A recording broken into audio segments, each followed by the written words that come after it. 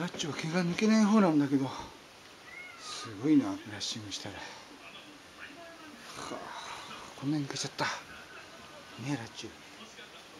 あら足くっついてる。うん。これをちっちゃく丸めよう。ばあちゃんに内緒な。部屋の中でやるなって言われて。なはい片付けちゃう。な。